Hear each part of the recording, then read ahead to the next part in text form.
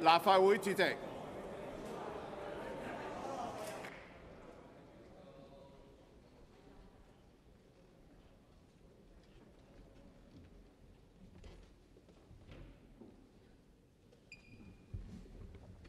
早晨，今次會議係牛年第一次嘅立法會會議，我祝各位牛年身心康泰，萬事勝意，立法會嘅工作順利。我亦都希祝願香港早日戰勝疫情，市民係安居樂業，百業興旺。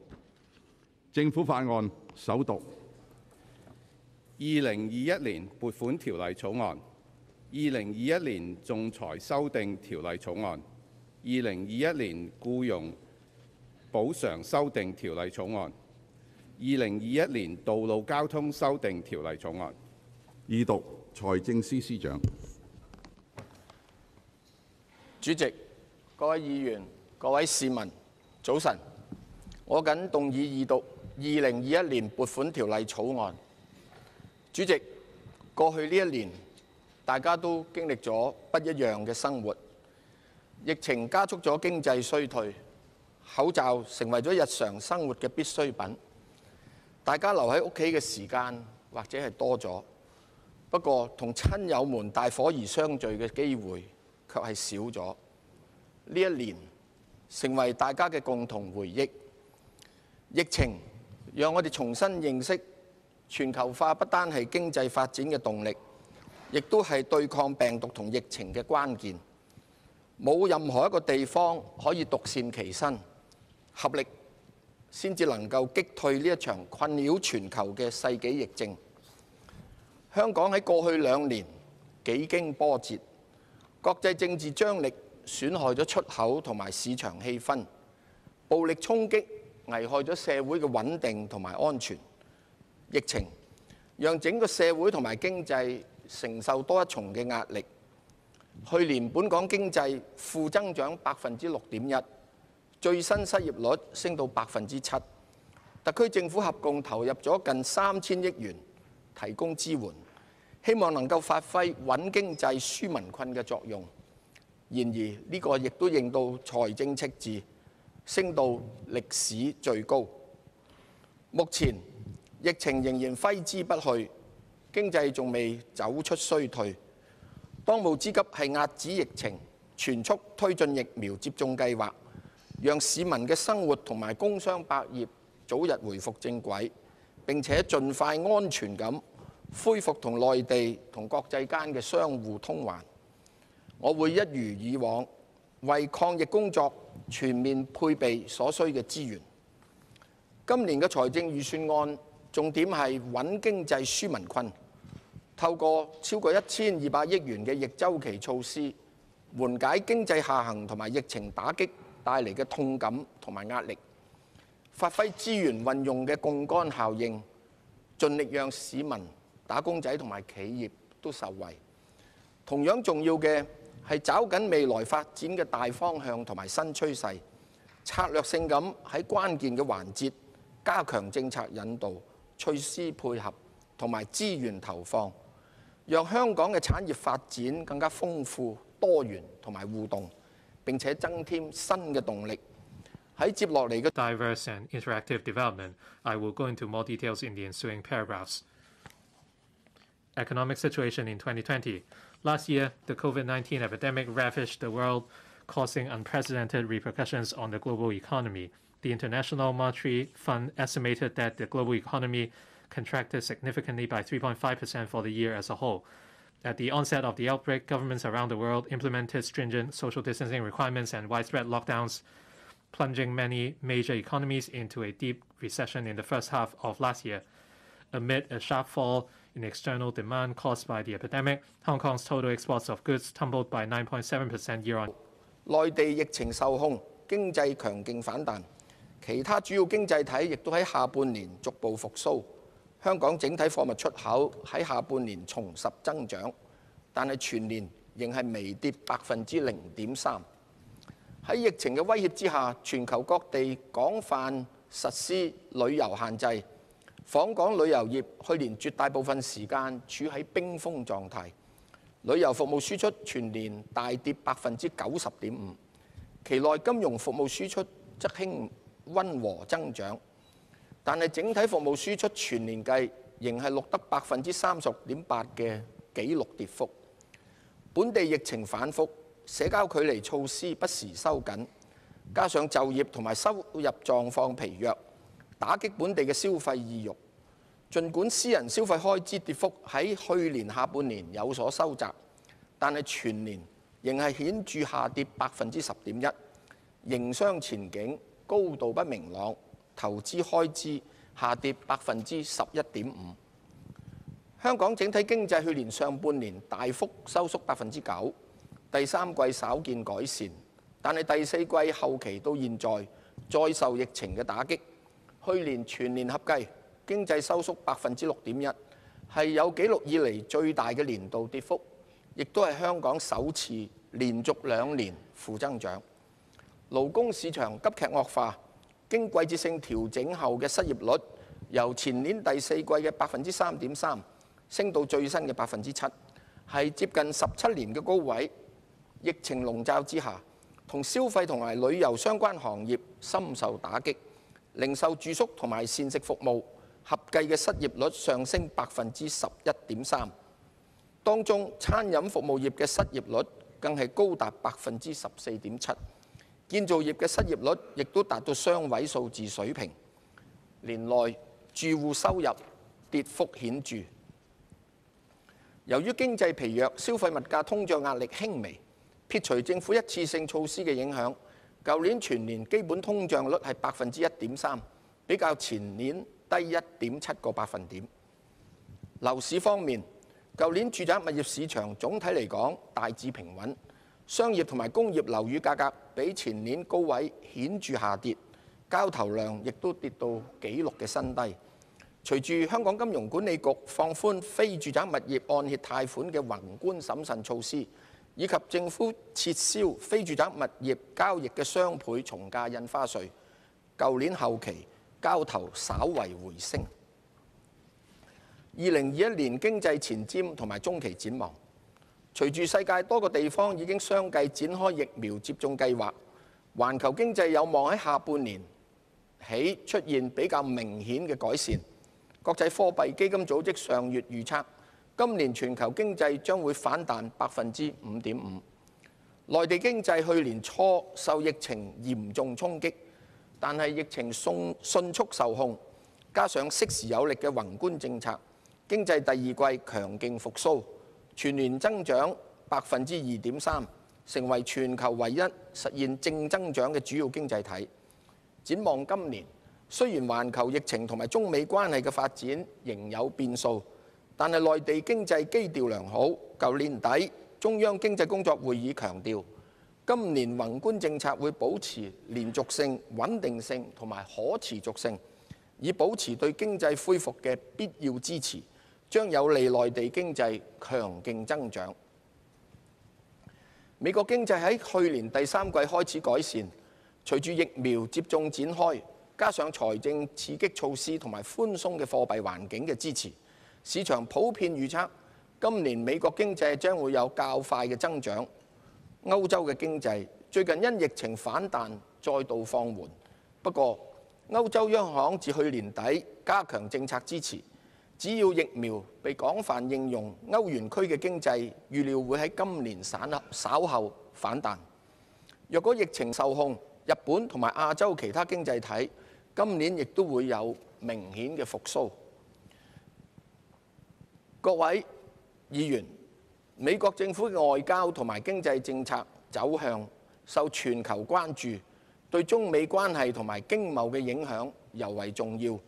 各界都盼望雙方嘅經貿關係逐漸回復正常，以支持環球貿易同埋商務活動進一步恢復。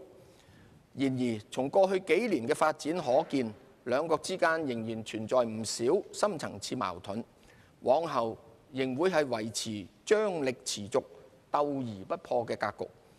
佢嘅變化會影響全球貿易、金融同埋政治局勢，其他地緣政局同埋環球公共債務急升，亦都可能會引發金融風險等。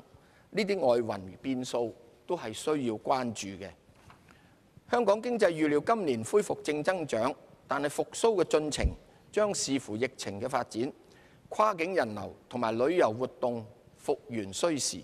經濟喺上半年仍會面對較大嘅挑戰。不過，只要齊心協力控制疫情，社會環境維持穩定，加上預期環球經濟反彈，經濟復甦嘅動力喺下半年可望顯著加強。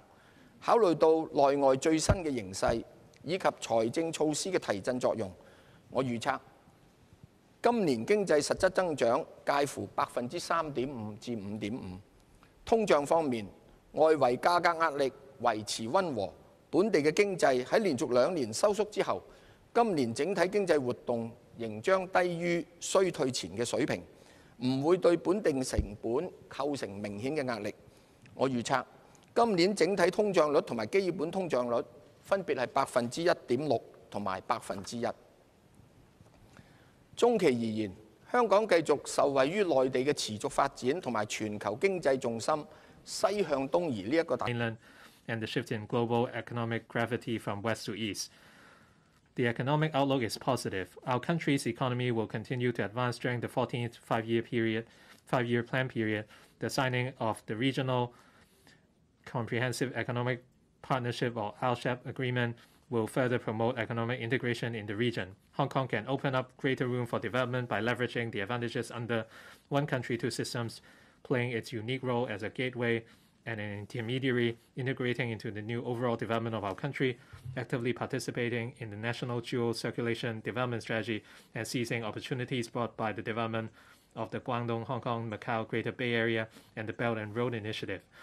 On the other hand, the government will strive to overcome land and talent constraints, promote innovation and technology development, invest in education and nurture talent, and strengthen connection with the world.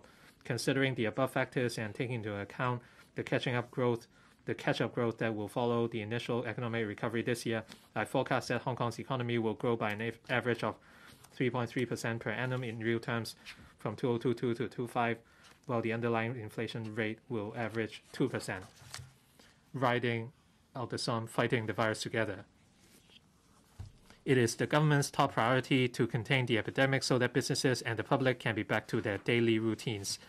A high level steering committee, come command center led by the chief executive, was set up in January 2020 to formulate strategies and measures swiftly in response to the development of the epidemic with a view to achieving the target of zero infections.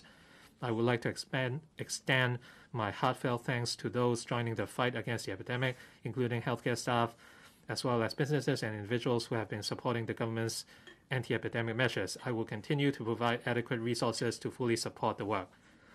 The government strives to step up surveillance and testing efforts in order to identify cases in the community as early as possible to help cut the transmission chains. Various means are provided to collect specimens up to about 100,000 for testing each day. At present, the actual testing capacity of public and private laboratories in Hong Kong has reached a level of over 100,000 tests per day. The government has allocated 4.7 billion from the anti-epidemic fund to support the anti-epidemic work of the hospital authority, ensuring sufficient support and protection for frontline healthcare staff. The government also provides an additional allocation of $3.044 billion, mainly for the HA to establish and operate the community treatment facility at the Asia World Expo and the Hong Kong Infection Control Center at the North Lantau Hospital. The former has commenced services in phases since last August, and the latter from the end of this month. The government has earmarked over 8.4 billion for the procurement and administration of COVID-19 vaccines. Our target is to have the majority of the population vaccinated for free within 2021. The COVID 19 vaccination program started yesterday and will provide vaccination for five priority groups of citizens. The government will seek funding support from the Finance Committee of the LegCo in the, at the end of this month to establish a vaccination indemnity fund with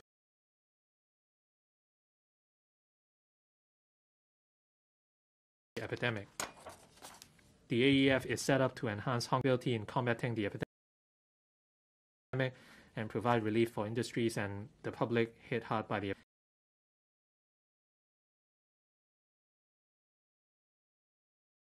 involve a total of over $300 billion, providing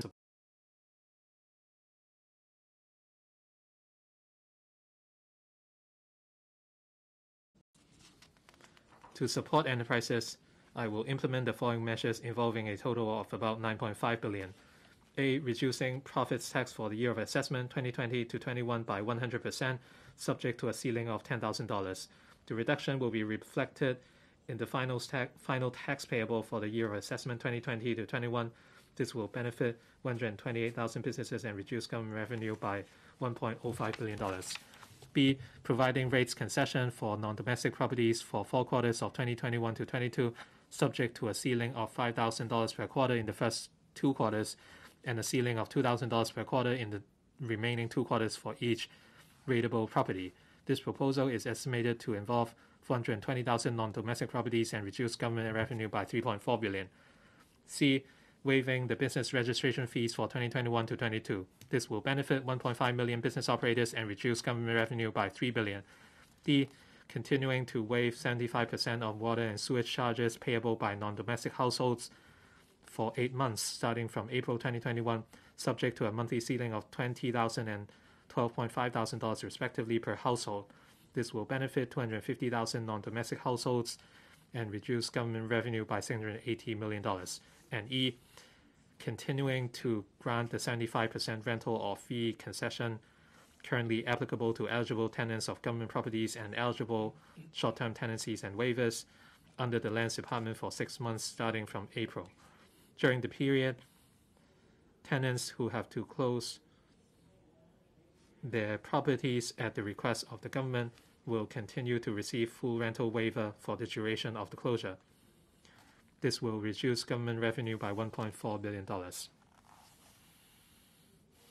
The government has introduced a number of enhancements to the SME financing guarantee scheme, including the rollout of the 90% guarantee product and the one year special 100% guarantee product to provide enterprises with low interest loans or interest subsidies, as well as principal moratorium, during which only interest payments have to be made, giving them more breathing space for recovery.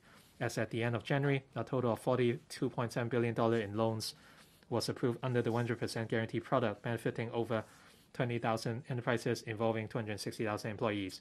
As the epidemic has been lingering for over a year, in order to continue to relieve the cash flow pressure of SMEs, I will extend the application period of the special 100% guarantee product to the end of this year, further increase the maximum loan amount per enterprise from the total amount of employee wages and rents for 12 months to that for 18 months and raise the loan ceiling from 5 million to 6 million. Extend the maximum repayment period from 5 years to 8 years, and extend the maximum duration of principal moratorium from 12 to 8 to 18 months. The Hong Kong Mortgage Corporation Insurance Limited will announce the details later. Further to the launch of the pre-approved principal payment holiday scheme together with the banking sector in response to the epidemic last May, the HKMA announced in November that this scheme would be extended for 6 months to April 2021 having regard to the ongoing impact of the epidemic on economic activities. Some 120,000 eligible corporate customers are covered by the scheme. Under the scheme and other relief initiatives offered by banks, about 59,000 cases have been approved by banks to support enterprises as at end January, involving about 70 50 billion dollars. Support employment. Following the allocation of funding to enhance the upgrading special scheme run by the Employees Retraining Board in last year's budget, the ERB launched the third tranche of the scheme in January to provide training and allowance for 20,000 trainees affected by the economic situation. The government will ask the ERB to launch the fourth tranche of the scheme in July, which will last for six months until the end of this year, benefiting 20,000 trainees. The ERB will continue to provide more training options under the scheme and more online courses for trainees to engage in distance learning during the epidemic.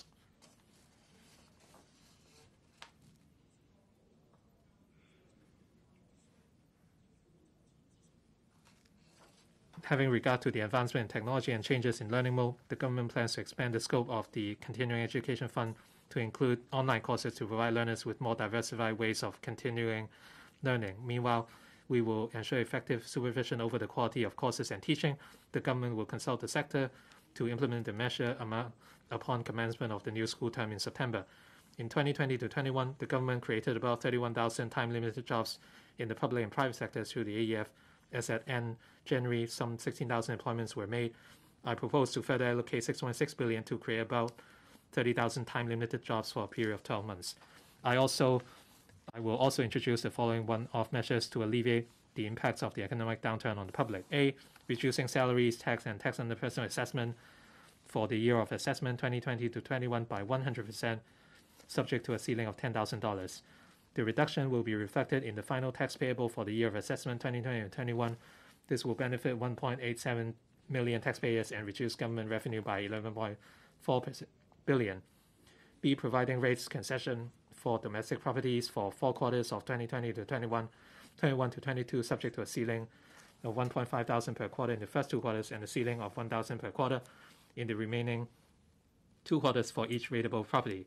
This proposal is estimated to involve 2.95 million domestic properties and reduce government revenue by 11.6 billion. C. Granting each residential electricity account a subsidy of $1,000. This measure will involve an expenditure of uh, 2.8 billion and benefit over 2.7 million eligible households. D. Providing an allowance to eligible Social Security recipients equal to one half of a month of the standard rate CSSA payment, old age allowance, old age living allowance, or disability allowance. This will involve additional expenditure of $2.382 billion. Similar arrangements will apply to recipients of the Working Family Allowance and indi- individual based work incentive transport subsidy involving additional expenditure of 121 million. And E, paying the examination fees for school candidates, candidates sitting for the 2022 Hong Kong Diploma of Secondary Education examination, incurring 150 million dollars. This prolonged economic downturn has plunged some people into financial difficulties. In view of this, many people have demanded temporary unemployment assistance. The government has reiterated the policy considerations it has taken into account for not accepting the proposal and instead provided a time limited special scheme under the CSSA scheme to help the unemployed. Considering that many grassroots have been suffering from underemployment amid the epidemic, the government proposes to relax the working hour requirements under the Working Family Allowance Scheme. Among them, the current basic working hour requirement of not fewer than 144 hours per month for non single parent households will be substantially lowered by half for one year.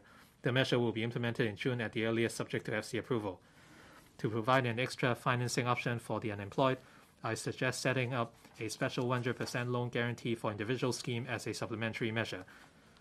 The government will offer a guarantee for loans provided under the scheme. The maximum loan amount per applicant is set at six times of his or her average monthly income during employment, subject to a ceiling of $80,000. There will be a principal moratorium for the first 12 months. Afterwards, the principal and interest can be repaid over a period of up to five years with an interest rate fixed at 1% per annum. Applicants who have repaid loans in full as scheduled will be offered full reimbursement for the interest paid. Freelancers who provide proof of loss of income may also apply for the loan. The government will provide a total guarantee commitment of $15 billion. The application period will last for six months. The Financial Services and the Treasury Bureau will, in collaboration with the HK MCIL, announce the details in due course.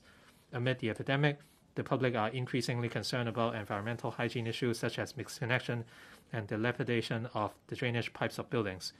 I will earmark 1 billion to provide subsidies for owners of more than 3,000 old buildings with relatively low rateable values to carry out drainage repair or enhance, enhancement works.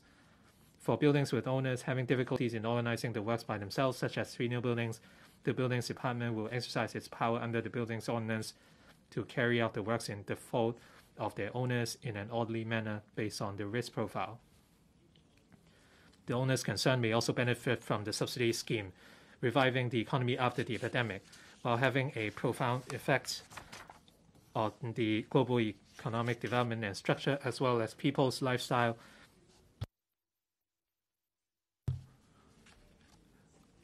To enable our economy to revive after the epidemic, we would adopt a targeted approach. Apart from helping enterprises adapt to the economic new normal after the epidemic and stimulating consumption, we should also promote our advantages outside Hong Kong. I will, elaborate on the relevant measures in the ensuing parts of our speech. Digital economy. Many traditional industries have accelerated the application of technology in their operations due to the epidemic. Examples include digital payment, smart self-service systems, and various online businesses, customer services, and workflow management. For many people, who stay at home during the epidemic, the use of online shopping services, video streaming platforms, and online conference software has become the new mode of working, studying, and entertainment. For various trades, it has now become a trend to speed up digital transformation in order to adapt to the new consumption modes and habits of the people. Only by making good use of information technology can enterprises seize the opportunities of development when the epidemic is over. In view of the above, we have launched the Distance Business Program under the AEF to provide funding support for enterprises to adopt information technology solutions and cover the expenses for providing relevant training to their employees. The program has received an overwhelming response since its launch in mid-2020, and a total funding of nearly $800 million has been granted. We have subsequently allocated an additional funding of $1 billion for the continuation of the program and further enhancements. The challenges posed by the epidemic have also catalyzed local I&T developments. They not only incentivize businesses to conduct research and developments for products or innovative services, but also provide enterprises with suitable contexts for application. The electronic wristbands used for home confinement and the touchless lift button system are some good examples. The government will continue to support enterprises of manufacturers through, among others, the Public Sector Trial Scheme, the Technology Voucher Program, and the Reindustrialization Funding Scheme in realizing and commercializing the R&D outcomes, using technological services to improve their productivity or business process, and setting up smart production lines in Hong Kong. This will enable them to better grasp the opportunities brought by the new economy.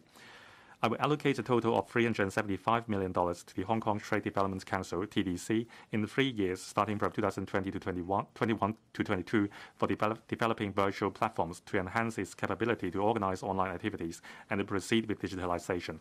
Moreover, the TDC will promote Hong Kong's strength in the development of the GBA and in healthcare products and services. It will also explore the use of its physical and online business-to-consumer platforms to assist young business starters in promoting their original products and gauging the preference of consumers.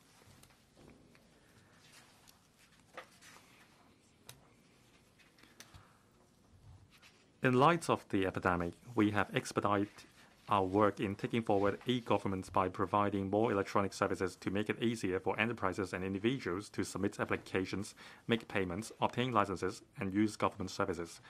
By mid-2022, unless there are legal or operational constraints, all government forms and license applications can be submitted electronically.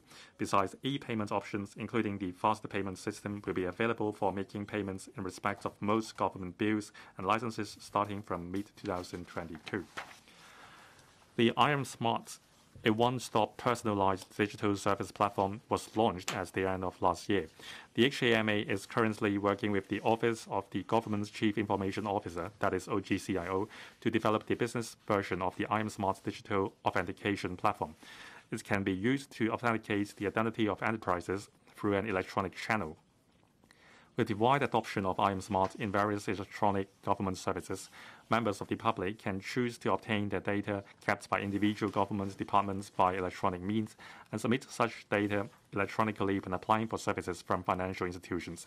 In addition, the HKMA has earlier announced the developments of commercial data interchange, which will allow commercial services operators to submit customers' data to financial institutions under the instruction and consent of their corporate customers so as to assist them in the application for services. To promote the law tech developments, I set aside funding in the 2019-20 budget to support the development of an online dispute resolution and deal-making platform by a non-governmental organization (NGO). With an allocation of $100 million to the project starting from this year, the platform will roll out negotiation, arbitration, mediation, and online training services progressively and develop other services such as e-translation and smart contracting phases. This year, the government will actively explore the developments of the Hong Kong legal cloud in order to sharpen Hong Kong's edge and raise our status, status in the provision of professional legal services. 面对目前嘅特殊 In view of the current special situation, the government should make good use of the fiscal reserves to energize the market, stimulate the economy, and facilitate the speedy recovery of the consumption market and other economic segments in a timely manner. After careful consideration, I will issue electronic consumption vouchers in installments with a total value of $5,000 to each eligible Hong Kong permanent resident and new arrival aged 18 or above, so as to encourage and boost local consumption. This measure, which involves a financial commitment of about $36 billion, is expected to benefit around 7.2 million people. The government will identify suitable stored value facilities operators to help roll out the scheme and will announce the details of the scheme as soon as possible. Explore markets. I will inject $1.5 billion into the dedicated fund on branding, upgrading, and domestic sales, and substantially extend in phases its geographical coverage from 20 to 37 economies to include all those with which Hong Kong has entered into investment Pro promotion and protection agreements, IPPAs.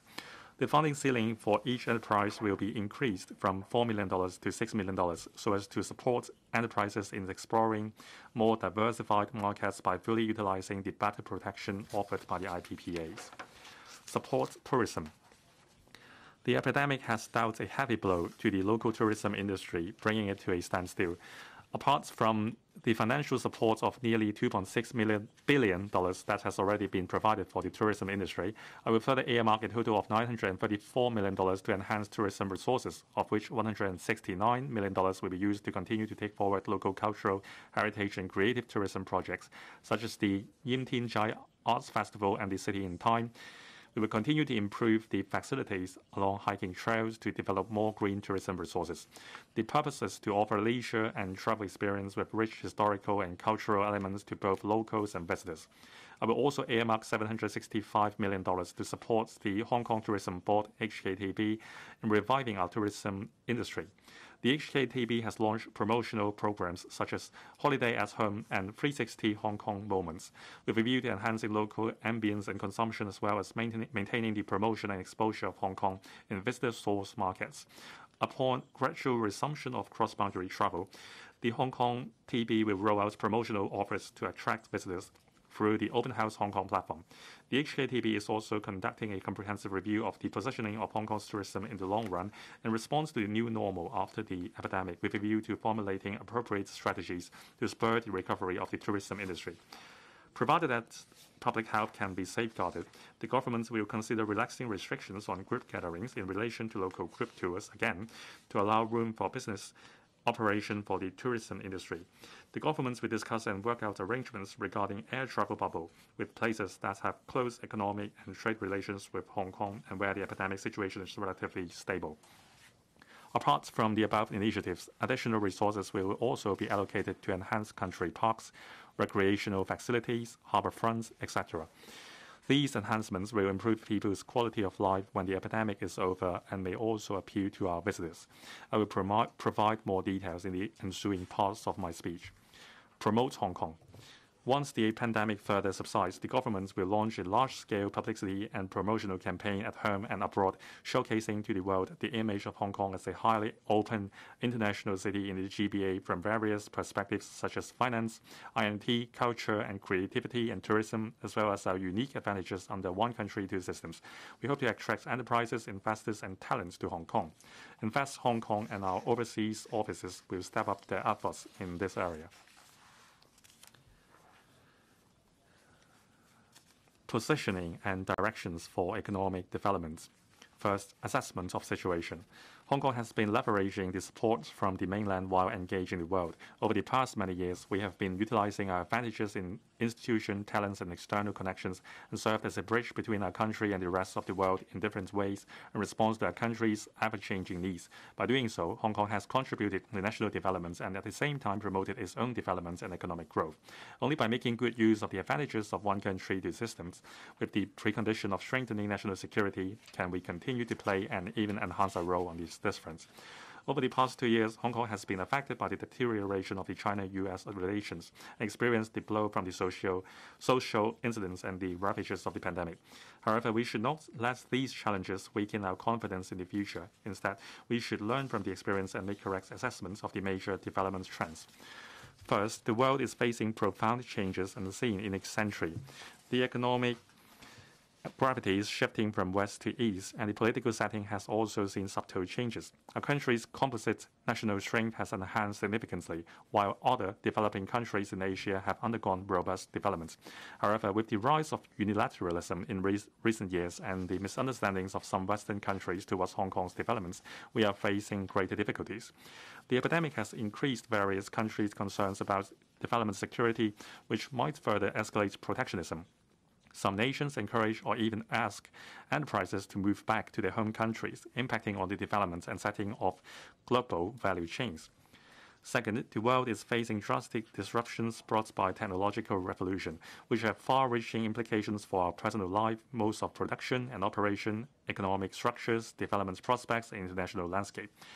The pandemic has also accelerated changes in the mode of business operation and people's living habits. Making good use of digital technology is not only essential to effective business operation, but also crucial for preventing and combating the pandemic and protecting public health and safety. Whether a place can attain a leading position in I&T will determine its success or failure. Third, green development is a major global trend. Environmental pollution and climate change have become too serious to ignore. There is a general recognition in the international community that we should promote green and low carbon development, which involves extensive new areas. The government needs to have visions and determination. The people need to build awareness of environmental protection and corresponding habits. The business sector needs to develop and adopt novel technologies and launch products of high efficiency. Other matching services such as financial support are also needed. Fourth, as for Hong Kong, we have experienced many changes at different points in our history, but the support of our country has remained unchanged. With the advantages under one country, two systems, Hong Kong has a unique and irreplaceable role in the national development. Functions and positioning. With its deep and extensive connections with the world, Hong Kong will continue to be an important platform for economic change, exchanges and trade between the mainland and the international community. As mentioned in the proposal for formulating the national 14th five-year plan, our country supports Hong Kong in consolidating and bolstering our competitive edges, building the city as an international I&T hub, fostering the development of the city as a B&R functional platform, and achieving diversified and sustainable developments of the economy. With our country's support, we can further capitalize on our advantages and realize our potential. We must step up our efforts to explore international economic and trade opportunities and actively participate in national development through making use of our industries with competitive strengths. Hong Kong has prominent functional roles in various aspects, such as pooling international capital and talent and providing a platform to align the country's standards with international ones. In addition, Hong Kong serves as a testing ground and firewall in our country's promotion of financial sector reform and opening up, such as the internationalization of renminbi. Under our country's dual circulation development strategy, Hong Kong will definitely achieve greater success in the future, as long as we can give full play to our unique roles as a gateway, a springboard, and an intermediary. Leveraging our close proximity, Hong Kong can make use of the GBA development as an entry point, participating actively in the development of our country's domestic circulation for capturing the enormous business opportunities. As an international metropolis that connects the world, Hong Kong can help the expansion of the country's external circulation and, in consequence, further strengthen its status as an international center for finance, commerce, commerce and trade, as well as a home for corporate headquarters. In face of rising unilateralism, it is all the more important for us to actively promote multilateralism, dismantle various barriers, and strengthen Hong Kong's links with the international community. We should further expand Hong Kong's trade, investment, and tax agreement networks. The free trade agreement and the investment agreement between Hong Kong and the ASEAN nations have recently come into full effect. In November last year, our country signed the RCEP agreements with 14 economies. We are actively seeking to be among the first batch of economies joining the RCEP after it comes into effect, so as to help us help our businesses and investors open up markets, thereby fostering the long-term economic development of Hong Kong. The way forward for industries. From the perspective of industries, Hong Kong has huge development potential in areas including financial services, I&T, green economy, air cargo, supply chain management, and professional services. Financial services are an important support to the real economy. On top of being a leading assets and wealth management center, Hong Kong is also an international fundraising platform, an insurance and risk management center, and an offshore RMB hub. Our financial services can assist mainland enterprises in raising funds and provide outlets and risk management for mainland funds, as well as facilitating the mainland's ongoing financial liberalization in a secure secure and orderly manner in support of the development of our country's real economy. We must continue to strengthen Hong Kong's leading position in the global financial market. Hong Kong enjoys a number of advantages in I&T development, such as top-notch capabilities in basic scientific research, intellectual property rights protection, attractiveness to research talents from all over the world, and first-class financial support services. In recent years, the government has allocated substantial resources and implemented a number of preferential policies and been blessed with our country's support.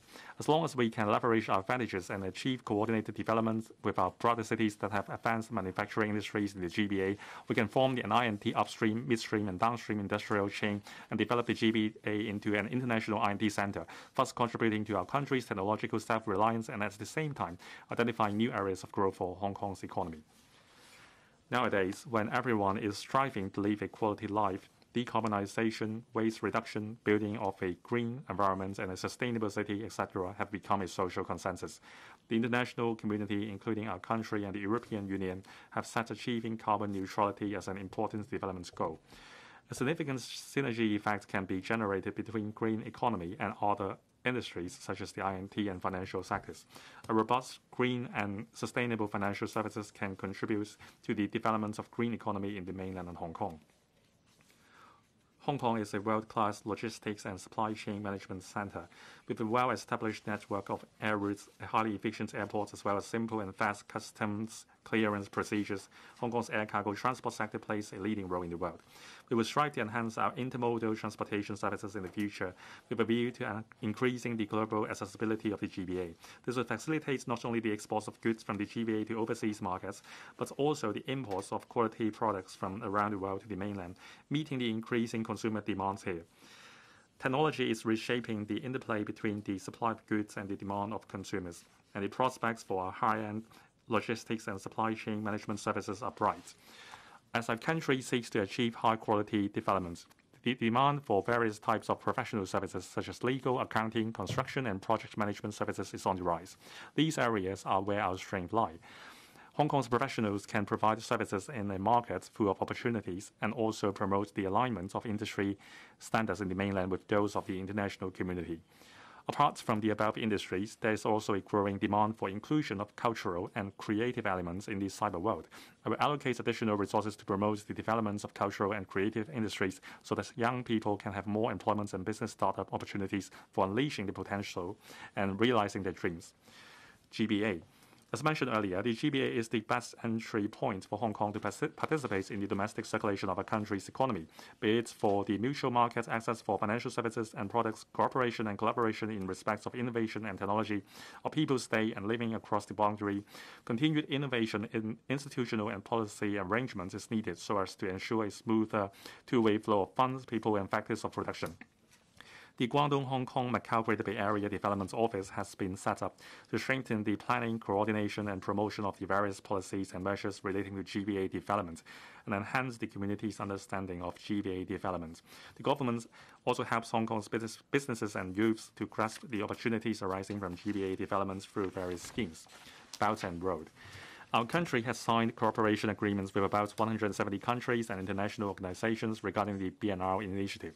The government will continue to provide financing services to B&R infrastructure projects through leveraging Hong Kong's function as an international financial center, encouraging Hong Kong enterprises and professional services sectors to develop business in the overseas economic and trade cooperation zones set up by our country and establish connections with mainland enterprises and industry associations for jointly exploring new markets, thereby consolidating our role as a prime functional platform and key node for the B&R initiative. Financial services. Comprehensive and superb financial services are crucial for an economy gearing for high-quality development. The value added for the of the financial services industry in Hong Kong accounted for 21% of the GDP in 2019. Its share of the overall employment increased from 6.8% in 2018 to 7.1% in 2019. Hong Kong has always been an offshore financing center for mainland enterprises and an important conduit for international capital to enter the mainland market. The capital markets of Hong Kong and the mainland can complement and interact positively with each other. Last year's total transaction value of the southbound and northbound trading of Stock Connect programs more than doubled than that of the year before. The mutual market access programs have been operating smoothly. Hong Kong can contribute more proactively to our country's dual circulation strategy. The FSTB, together with the HKMA, the Securities and Futures Commission (SFC), and the Insur Insurance Authority (IA), had set up a joint working group to explore how Hong Kong can complement the economic and financial developments of our country and meet the needs of international investors, and examine how to further enhance our competitiveness as an international financial center on the basis of our existing capacities. It will set out the development blueprints and put forward concrete proposals and measures for engagement with the central authorities to secure their support. Green and sustainable finance. Having regard to the goal of achieving carbon neutrality before 2050, we will continue to promote the development of green and sustainable finance, encouraging institutions to conduct relevant investments, financing, and certification activities and attract top-notch institutions and talents to Hong Kong to provide the relevant services. We will join hands with the financial sector and relevant stakeholders to take forward the strategic plan announced at the end of last year by the Green and Sustainable Finance Cross-Agency Steering Group, thereby leveraging our role as an international financial center to mobilize capital, capital towards sustainable projects in the region and enhance Hong Kong's position as a green and sustainable finance hub in the region. Last month, we successfully offered the second batch of government green bonds totaling 2.5 billion US dollars, among which the 30-year tranche is the longest ten tenor bond issued by the government and the longest tenor USD-denominated government bond in Asia to date. We plan to issue green bonds regularly and expand the scale of the government's green bond program. We propose to double the borrowing ceiling of the program to $200 billion to allow for further issuance of green bonds totaling $175.5 billion within the next five years, having regard to the market situation. This will also give us more room for piloting the issuance of green bonds that involves more types of currencies, project types, and issuance channels, thereby further enriching the green finance ecosystem in Hong Kong. We also plan to issue retail green bonds for the participation of the general public. The pilot bond grant scheme and the green bond grant scheme rolled out by the government previously will expire by mid-2021. I will consolidate the two schemes into a green and sustainable finance grant scheme to provide subsidy for eligible bond issuers and loan borrowers to cover their expenses on bond issuance and external review services. The scheme will last for three years, and the HKMA will announce relevant details in due course. Bond market. Through the active promotion of the government, Hong Kong's bond market has been sustained has seen sustained growth, now ranking third in Asia, excluding Japan, in terms of total amount of bond issuances. I will lead a steering group comprising members from the FSTB, the HKMA, the SFC, the IA, and the Hong Kong Exchanges and Clearing Limited to formulate a roadmap for promoting the diversified development of Hong Kong's bond market and reinforcing its functions. We will enhance the efficiency and capacity of our domestic central moneymarkets unit or CMU and introduce new functions to cope with the increasing market demand for northbound trading of Bond Connect and support its future commissioning of southbound trading with a view to providing a risk control channel for mainland investors to participate in local and overseas bond markets. We will develop the CMU as a major central securities depository platform in Asia and in the world in the long run.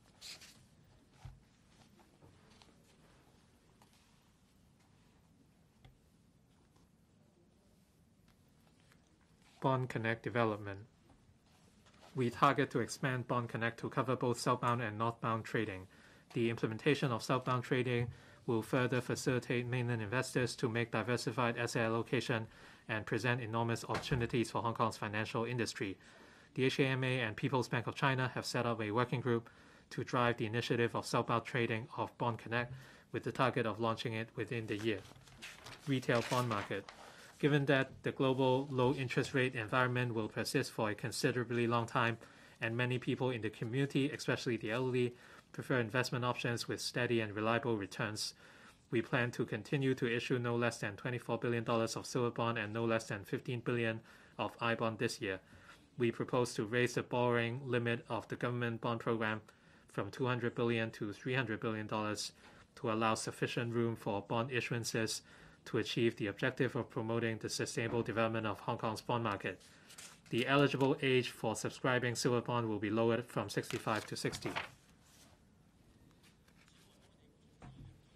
We are committed to developing the real estate investment trust market in Hong Kong and reinforcing the city's role as a premier capital raising center while offering investors a wide range of investment options with relatively stable returns.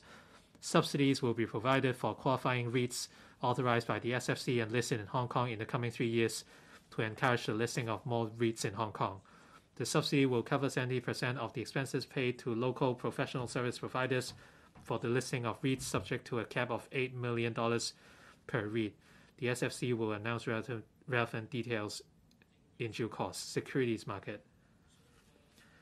Undaunted by challenges from external factors, the Hong Kong stock market recorded an average daily turnover of 129.5 billion last year, representing a rise of 49% over the year before. A total of 397.5 billion was raised through initial public offerings during the same period, representing an increase of 27% over the year before, and among which over 90% of the funds were raised by mainland enterprises. Not only is Hong Kong a preferred international fundraising platform, it is also the world's second largest fundraising hub for biotechnology companies. There have been 43 companies listed under the new listing regime in Hong Kong since its introduction, raising a total of over $420 billion, which accounts for about 40% of total IPO funds raised in the period. These companies have a combined market cap of over 11 trillion, accounting for about one quarter of the current total market cap in Hong Kong. They include 10 China concept stock companies returning to Hong Kong for secondary listing and 31 pre-revenue or pre-profit biotech companies. Our earlier efforts in enhancing the listing regime are gradually delivering results.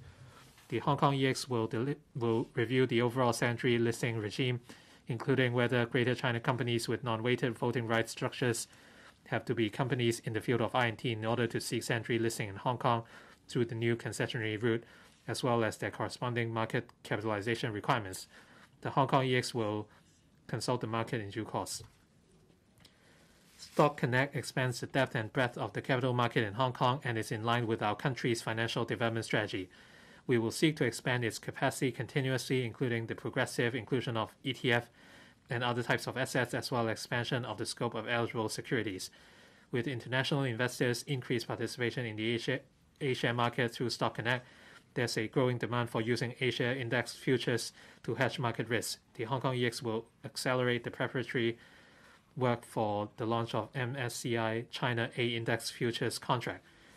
We are currently undertaking a series of legislative work to provide for half-rate profits tax concessions to eligible insurance businesses, including marine insurance and specialty insurance, facilitate the issuance of insurance-linked securities or ILS in Hong Kong, expand the scope of insurable risks of captive insurance companies, and enhance the group-wide supervision framework by the end of next month.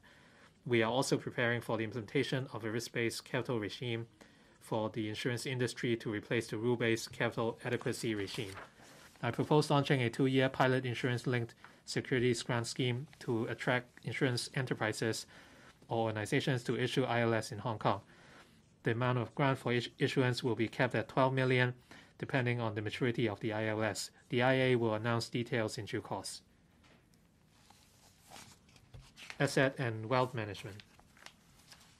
Since the establishment of the two new fund structures, namely the open-ended fund company and the limited partnership fund, the investment fund regime of Hong Kong has become more comprehensive, with 11 OFCs and over 100 LPFs already set up, Hong Kong's status as an international asset and wealth management center has been consolidated.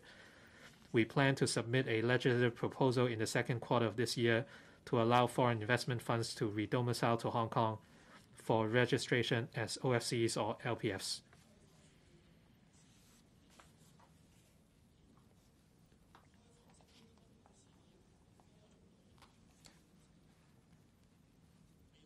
OFC suits various types of investment funds. We will provide subsidies to cover 70% of the expenses paid to local professional service providers for SFC set up or redomicile to Hong Kong in the coming three years, subject to a cap of $1 million per OFC.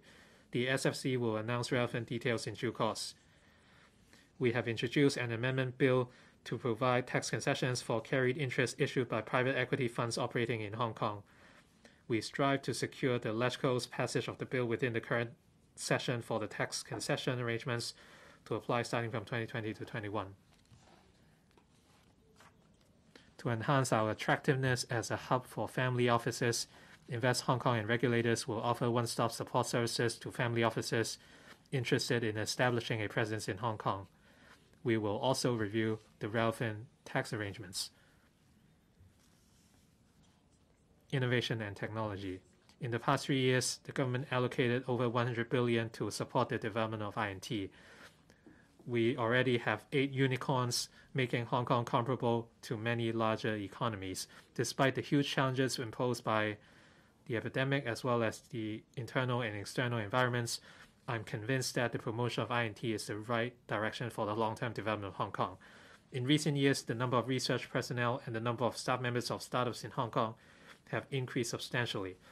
To nurture I&T talent, the Education Bureau has implemented a total of a number of measures to promote STEM education, including curriculum updating, providing professional training for teachers, subsidizing and organizing large-scale learning activities such as the STEM Education Fair.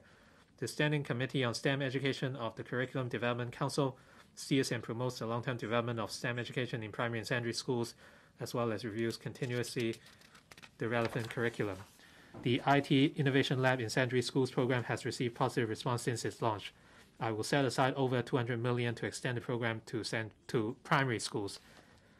Funding of up to 400,000 will be provided to each subsidized primary school in the coming three school years, thereby rolling out a knowing more about IT program to enhance students' interest and knowledge in IT and their applications through extracurricular activities to prepare them for integration into the knowledge-based economy and participation in the development of a digital society.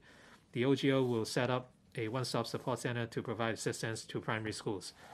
Last year, I earmarked 40 million to implement a pilot scheme under which subsidies are provided for students who study science and technology in local universities to enroll in short-term I&T related internships. More than 1,600 students and over 1,000 enterprises participated in the scheme, and 80% of the interns indicated that they would consider pursuing a career in I&T after graduation. Given the overwhelming response, I announced that the scheme will be regularized. The government will launch a global STEM professorship scheme in the first half of the year to support universities in attracting world renowned I&T scholars and their team to Hong Kong to participate in STEM teaching and research.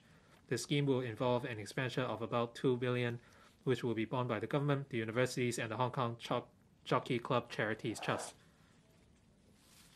Job opportunities and continuous training are also crucial for nurturing I&T talent. In the past three years, the Research Talent Hub has funded over 3,700 R&D positions. Among those engaged, about 1,400 are postdoctoral talent. The reindustrialization and technology training program provided on-the-job training for over 3,500 employees of some 1,800 enterprises to enable them to have a better grasp of the development of the new economy and I&T. The Greater Bay Area Youth Employment Scheme, launched earlier this year, also provides about 700 I&T places to encourage enterprises to employ Hong Kong's university graduates so that the latter can undertake I&T related work and receive on the job training in Hong Kong and another city in GBA. Innovation and technology infrastructure. Over 80% of the areas in the two buildings under Stage 1 of the Science Park expansion program has been occupied. As for the Data Technology Hub in the Kwan Industrial Estate, since its commencement of operation in the fourth quarter of last year, 16 enterprises have already set up offices there or signed tenancy agreements. Besides, a number of enterprises have expressed interest in setting up offices in the hub. The InnoCell adjacent to the Science Park was completed at the end of last year, providing about 500 residential spaces with flexible design facilities such as shared workspaces for the research personnel in the science park. Leasing activities will commence and a trial run will be held in the first half of this year. The supply of R&D and working spaces in the Hong Kong Science Park and Cyberport falls short of demand. In the last two budgets, resources were set aside for the Science Park expansion and Cyberport 5 development, which will respectively provide 28,000 and 63,000 square meters of floor area mainly for R&D or operation of I&T enterprises. We are also pressing ahead with the development of the Hong Kong Shenzhen Innovation and Technology Park in the Lok Ma Chau Loop. A provision of about 32.5 billion has been approved for the project. Works have already commenced. The first batch of facilities is expected to be completed in phases from 2024 to 2027. The economic contribution to Hong Kong of which is expected to reach 5.5 billion per annum, with about 4,800 jobs to be created. Upon full development, the park will be the largest ever I&T platform in Hong Kong, providing a gross floor area of 1.2 million square meters, which is approximately three times that of the Science Park. Its economic contribution to Hong Kong is, is expected to reach $55 billion per annum, with about 52,000 jobs to be created. On digital infrastructure, the coverage of 5G network in Hong Kong is now over 90%. The subsidy scheme for expanding fiber-based network to villages in remote areas will be completed in phases from this year. The government will continue to support the development of 5G networks and applications, release more 5G spectrum in different frequency bands, facilitate the setting up of radio base stations by operators at suitable government venues and public facilities, assist in the relocation of the Tai Po satellite earth stations, and provide land at Chung Hom Teleport for the development of infrastructure to connect with external telecom facilities. Promote research and development. Over the past few years, we have been dedicated to promoting R&D, but it takes time to deliver results. These efforts are gradually bearing fruit with the rising GDP on R&D activities in recent years, boosting our confidence in promoting R&D. Amendments were made to the Inland Revenue Ordinance in late 2018 to provide for enhanced tax deduction reduction for qualifying R&D expenditure to encourage enterprises to devote resources to local R&D. The total amount of R&D expenditure for which claims for tax deduction were made in the first year of assessment has more than doubled since the implementation of this measure. 70% of this amount enjoy enhanced tax deduction. The measure has delivered notable results. Since permission was granted for the remittance of mainland R&D funding to Hong Kong, the State Ministry of Science and Technology, Guangdong Provincial Government, and Shenzhen Municipal Government in the past two years have approved over renminbi 340 million for universities and research institutes in Hong Kong to conduct R&D or set up laboratories, adding impetus for local R&D activities. The Inno Hong Kong Research Clusters is our flagship project. It comprises Health at Inno Hong Kong on healthcare technologies and Air at Inno Hong Kong on artificial intelligence and robotics technologies and has attracted many top-notch universities and research institutions in the world. The first batch of about 20 R&D labs will commence operation progressively in the first quarter of the year. This will further consolidate Hong Kong's position as a global research collaboration hub. Funding under the Innovation and Technology Fund increased by over seven times in the last seven years. I will inject $4.75 billion per year to the ITF two years in a row to sustain its 17 funding schemes as well as the work of over 50 R&D labs in the next three years. Startups. Hong Kong's startup ecosystem has become increasingly vibrant with an increase in the number of startups from about 1.1 thousand in 2014 to over 3.3 thousand last year. Investment from venture capital funds in Hong Kong also increased from 1.24 billion in 2014 to 9.9 billion in 2019, representing an increase of over seven times. Over the past three years, I&T enterprises in the Science Park and Cyberport have attracted over $41 billion of investment. Besides, some 600 startups are being incubated by the Science Park and Cyberport on top of the nearly 1.3 thousand startups already graduated from the programs. The Innovation and Technology Venture Fund has invested more than 100 million in 19 local startups over the past two years, attracting more than 500 million dollars of private investment. The ITVF appointed three new co-investment partners late last year. We will continue to partner with venture capital funds to invest in local startups. In the past three years, the Hong Kong Science and Technology Parks Corporation has invested over 100 million in 13 technology enterprises through its corporate venture fund, attracting about 1.35 billion dollars of private investment. The Cyberport Macro Fund set up by Cyberport also invested more than 120 million in 16 companies, attracting over 860 million dollars of private investment. The HKSTPC and Cyberport will inject 350 million and 200 million into the two funds respectively and extend their scope to cover Series B and later stage investments. The Technology Startup Support Scheme for universities has provided funding for of about $120 million to 139 startups in the past three years. Among those startups which have benefited from the scheme since inception, over half of them have launched their products in the market, more than 40% have earned revenue, and about 60% have received capital injection from investors with a total amount of some $530 million. Financial technology. The epidemic has sped up digital transformation of the Hong Kong financial market. On top of many fintech startups, there are eight virtual banks, four virtual insurers, and a virtual asset trading platform having been authorized to operate in Hong Kong.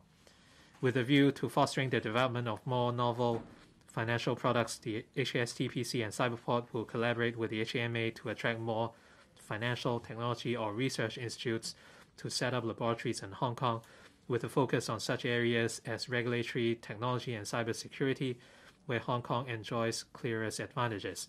In addition to the FinTech Proof of Concept Subsidy Scheme announced in January, the Hong Kong MA is considering enhancing its FinTech supervisory sandbox by providing through train vetting and funding arrangements for those promising FinTech solutions to reduce the time for the launch of innovative financial products in the market foster reindustrialization. The reindustrialization funding scheme, which was launched in July last year, provides subsidies on a matching basis to manufacturers for setting up new smart production lines in Hong Kong. The scheme has received 12 applications so far. The Advanced Manufacturing Center in the Kwan Industrial Estate and the Microelectronics Center in the Yuen Long Industrial Estate being developed by the HKSTPC will be completed in the coming years. The two centers will provide a total gross floor area of over 140,000 square meters for smart production and high-end manufacturing industries. Quite a number of enterprises have expressed interest in setting up establishment in the two center air cargo sector. The Hong Kong International Airport is a double gateway connecting the world and the GBA. With further growth in external trade in the GBA, particularly the booming of e-commerce and the personalization of consumer demand, Orders received by manufacturers are becoming small in amount with a narrow delivery window. It can be envisaged that there will be an increasingly keen regional demand for air cargo services. Last year, HKIA handled 4.5 million tons of cargoes and airmail, down by only 7% from the pre-epidemic level. The airport authority has active plans for developing intermodal cargo handling facilities so that there will be seamless transportation of mainland exports to the rest of the world through the HKIA and vice versa. With the expansion of the existing express air cargo terminal and the commissioning of a new premium logistics center as well as the three runway system, Hong Kong International Airport's annual cargo handling capacity is expected to increase from 7.4 million tons to some 9 million tons in 2024. When the airside intermodal cargo handling facility becomes operational as well, Hong Kong's position as the air cargo center of the GBA will be further reinforced. HKIA's capability in handling high-value, temperature-controlled air cargo is internationally recognized. In addition, the government will work with the AA to actively explore measures to facilitate transshipment through Hong Kong with a view to maintaining our competitive edge as an international air cargo hub. We are confident that the HKIA will become the busiest cargo airport in the world again when the epidemic is over. We will submit a funding application to the LegCo within this year to redevelop the airmail center at the HKIA with a view to bringing the center into operation by the end of 2027 at the earliest. We will continue to work with the AA and other postal authorities on maximizing the use of the center's transit handling capacity to support the long-term development of the postal industry in the GBA. Cultural and creative industries. I will inject an additional $1 billion into the Create Smart initiative in 2021 to 2022 to continuously drive the development of the creative industries. The government has continued to allocate more resources to the development of arts and culture in recent years. In 2021 to 2022, the total expenditure will exceed $5.7 billion. The West Kowloon Cultural District, WKCD, is a new landmark and attraction in Hong Kong. With the opening of M Plus and the Hong Kong Palace Museum in WKCD in this and next year, respectively, and the expected completion of the Lyric Center Lyric Theatre complex in 2024, diversified development opportunities will be brought to the local arts and cultural sector.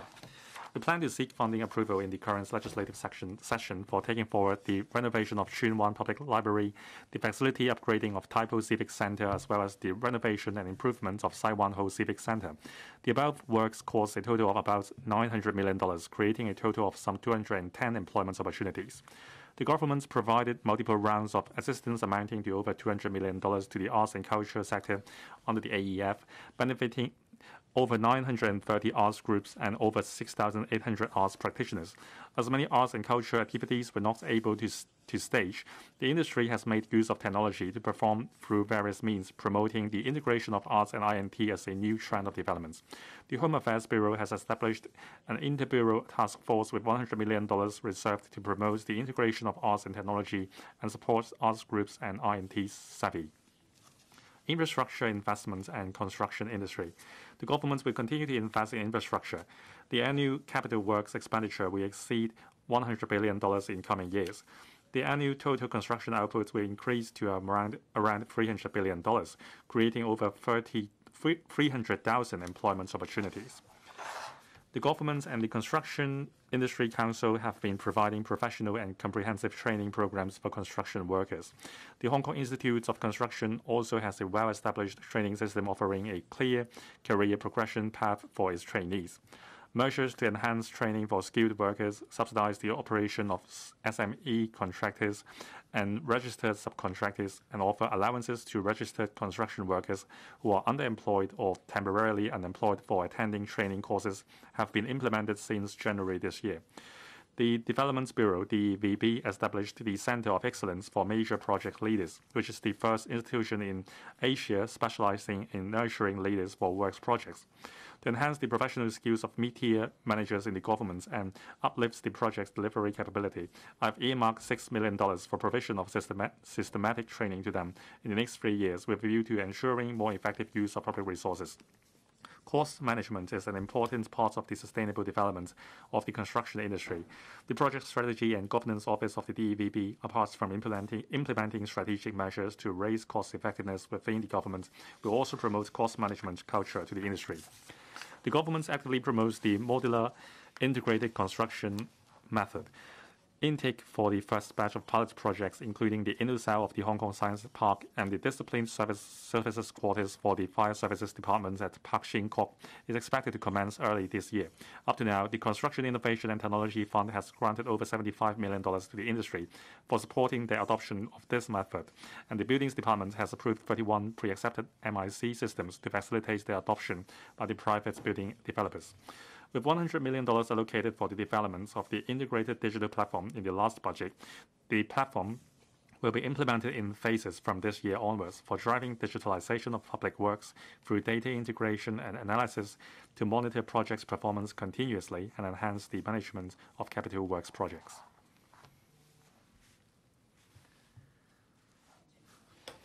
Building a livable city. Land supply. The 2021 to 22 land sale program comprises a total of 15 residential sites and 3 commercial sites, capable of providing about 6,000 residential units and about 480,000 square meters of commercial floor area respectively. With the residential sites under the land sale program, together with railway property development projects, private developments and redevelopment projects, and the urban renewal authorities projects, the potential land supply for the whole year is expected to have a capacity of providing about 16,500 units. The Secretary for Development will later announce the details of the land sale program for the next financial year. The construction of Kwu Tung North Fanling North New Development Areas, NDAs, is making good progress. The intake for the first batch of public housing in Kwu Tung North is expected to take place in 2021, one year earlier than originally planned. Private residential sites in the area will be tendered gradually. The 12 hectares of private land involved in the first phase of the works for Hung Shui Kiu, Ha Tsuen, and NDA has been resumed as scheduled. Site formation and infrastructure works are underway. As for the Yuen Long South development, we are going through the statutory planning process. The first batch of public housing units will be completed in 2028. We will seek funding approval from the LegCo for studies related to the New Territories North NDA within this legislative session. The studies will commence shortly afterwards. The first two parcels of housing land under the Tung Chung East reclamation works were handed over to the Hong Kong Housing Authority for public housing developments last year. The first intake for about 10,000 public housing units will take place in 2024. We estimate that in the NDA projects and other government and private development projects under planning, there is a total of over 860 hectares of brownfield sites in the new territories, which can gradually be redeveloped for housing and other land uses. Over the past few years, we have identified 210 sites with potential for housing development. Rezoning has been completed for or commenced for 70% of them. It is estimated that about 40% of the public housing units to be completed in the next 10 years will come from the rezoned sites. We are examining the feasibility of rezoning five commercial sites in Kowloon East for residential use, taking into account the latest economic situation and market response. If confirmed feasible, we plan to initiate the relevant statutory town planning procedure this year. A total of about 5,800 private housing units can be provided according to our preliminary estimation. The Mass Transit Railway Corporation Limited and government departments are pressing ahead with the development of the Siu Ho Wan depot site. Our target is to have the first batch of about 6,000 public and private housing units gradually ready for intake in around 2030. Upon completion of the whole project, about 20,000 units will be provided, about half of which will be public housing units. We plan to conduct later this year district consultations on two single-site multiple-use projects, namely the redevelopment of Tuen Mun Clinic and the joint-use building for community facilities at Shan Mei Street in Sha Tin. Besides, we will apply funding from the as soon as possible for three other projects, namely one at the former Anderson Road quarry site, one in Tseung Kwan O Town Centre, and the other one near Sheung Wan Fire Station. In addition, we are reviewing about 40 government institution or community sites with joint use potential. We hope to put forward concrete proposals for these sites this year, including developing multipurpose public facility buildings. The DEVB has set up the Development Projects Facilitation Office to facilitate the processing of planning, lease modification, and building plan applications, etc., for private residential development projects with a yield of 500 flats or more by enhancing coordination among the departments involved. The DEVB and the Lands Department will introduce a pilot scheme for charging land premium at standard rates in this quarter to encourage redevelopment of industrial buildings. Housing supply. We have identified land for the provision of 316,000 public housing units in the coming 10 years. With the redevelopment of the Hong Kong Housing Authority's factory estates, the number of public housing units may see further increase. It is estimated that the total public housing production in the five-year period from 2020 to 2021 is about 101,400 units, comprising over 70,000 public rental housing and Green Form subsidized home ownership scheme units, and over 30,000 other subsidized sales units. On private housing, it is estimated that the completion of private residential units will average over 18,000 units annually in the five years from 2021, representing an increase of about 5% over the annual average of the past five years. The government has already identified land for the provision of about 14,000 transitional housing units by the end of 2023. Intake of residents for over 1,100 units has taken place. Projects involving about 9,800 units have been launched. The $5 billion funding scheme to support transitional housing projects has approved projects involving over $2.6 billion, the government will inject another $3.3 billion this year. The government is also seeking funding from the Community Care Fund to subsidize NGOs as a pilot scheme to rent suitable rooms in hotels and guest houses with relatively low occupancy rates for use as transitional housing. Green City. The government strives to achieve carbon neutrality before 2050 and will update the Hong Kong's Climate Action Plan in the middle of this year to set out more proactive strategies and measures to reduce carbon emissions. We are setting an example by implementing the green energy targets to boost the overall energy performance of the government by 6% by 2024 to 2025. Concurrently, the government will continue to promote new energy transportation so as to further reduce roadside air pollution. The government has all along been promoting the replacement of conventional fuel-propelled private cars, PCs, with electric vehicles, EVs. Last year, one out of eight new PCs is EV. In the past 10 years, the number of EVs increased from 184 to over 18,500, with the total number of electric private cars, EPCs, accounting for 2.7% of the total number of PCs in Hong Kong. The one-for-one replacement scheme provides a higher first registration tax concession for owners who buy a new EPC and scrap their eligible old PC, subject to a cap of $250,000. Since its launch, 90% of the owners of first registered EPCs have benefited from the scheme. The first registration tax concession for general EPCs is $97,500. The government launched the $2 billion EV charging at home subsidy scheme in October last year. It is expected that about 60,000 parking spaces in existing private residential buildings will be provided with EV charging enabling infrastructure under the scheme in three years. Since the introduction of this scheme, applications involving more than 50,000 parking spaces have been received. Last year, the government allocated an additional funding of $800 million to the New Energy Transport Fund and expanded its funding scope to cover additional types of electric commercial vehicles.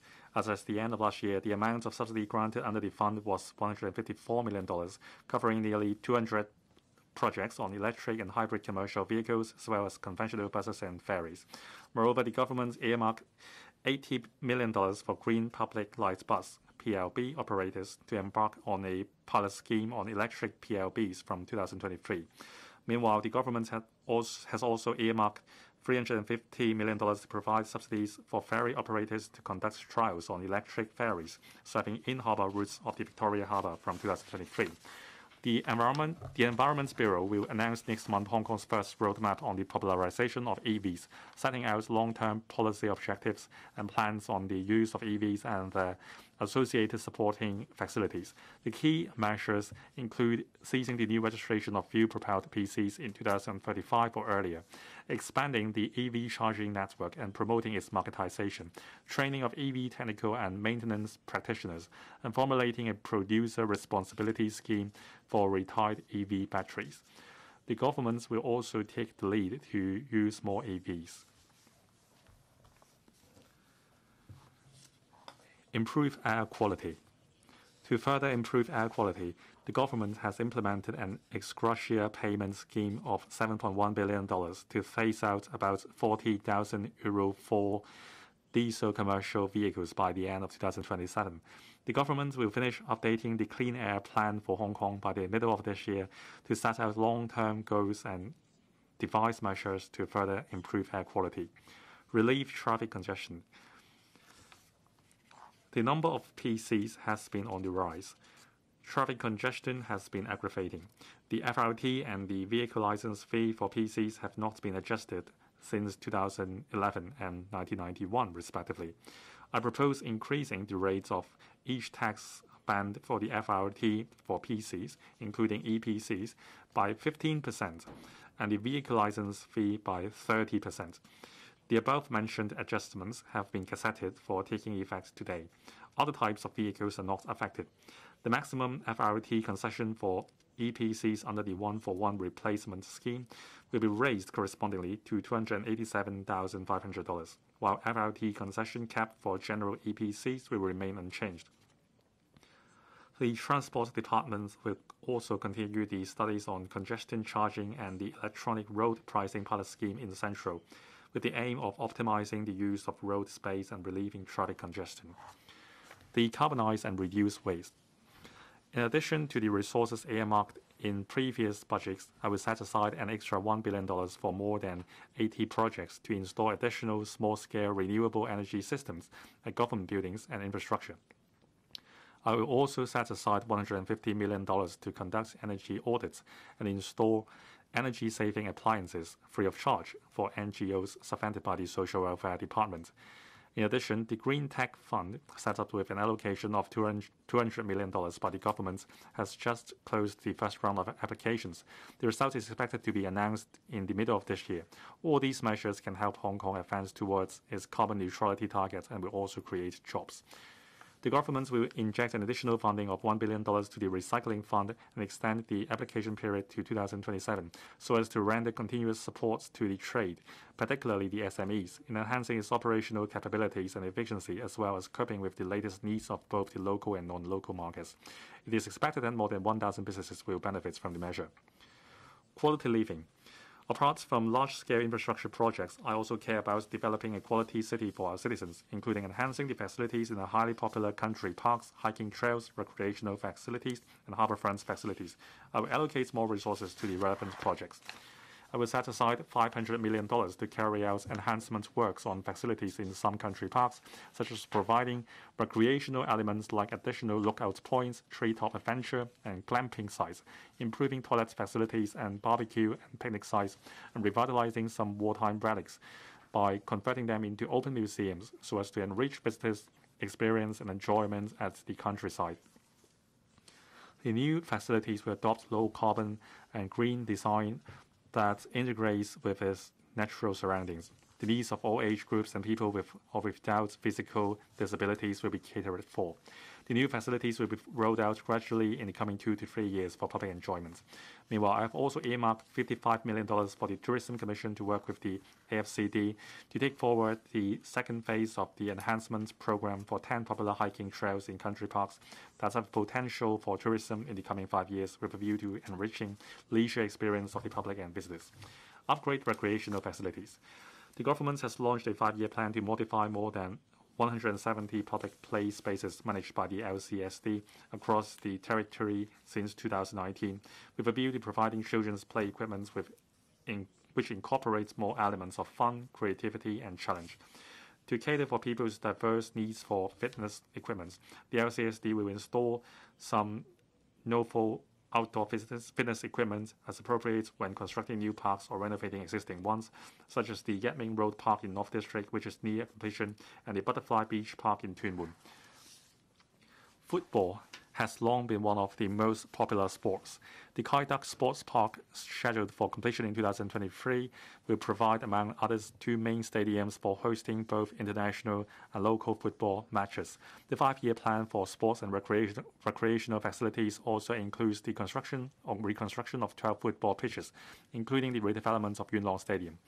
I will earmark $318 million to implement a five-year plan for upgrading over 70 football pitches under the management of LCSD, including substantially increasing the number of 5A, 5A side football pitches meeting international standards, exploring the possibility of expanding the existing football pitches into standard 11-a-side turf pitches, and expediting the replacement of artificial turf on football pitches.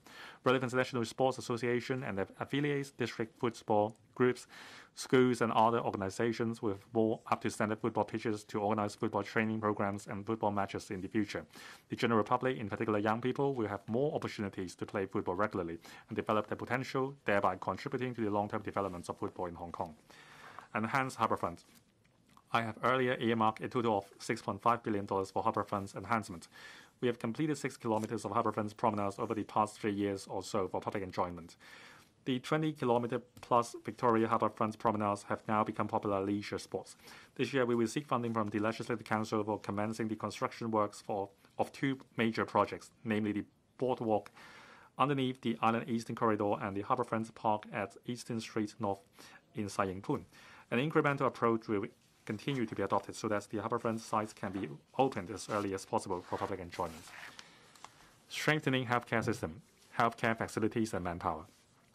The Hospital Authority will press ahead with the implementation of the first 10-year Hospital Development Plan, HDP, and the planning of the second 10-year HDP. The HA will review the design of hospital projects under the two 10-year HDPs, taking into account the experience in combating COVID-19 and incorporates required provisions for two to three general wards in each selected hospital, so that they can be readily converted into Tier 2 isolation wards when the need arises. To strengthen professional healthcare training, around $1.9 billion has been allocated to the University of Hong Kong, the Chinese University of Hong Kong, and the Hong Kong Polytechnic University in the past two financial years for carrying out short-term renovation works and facility enhancements, as well as studies and medium and long-term work, works projects to increase their teaching facilities. The governments will continue to work with the universities to upgrade, the, upgrade and increase healthcare-related teaching facilities. Healthcare workers play a pivotal role in our fight against the epidemic. The last budget earmarked funding to support the HA in providing sufficient manpower for the public healthcare system and easing the pressure on healthcare workers.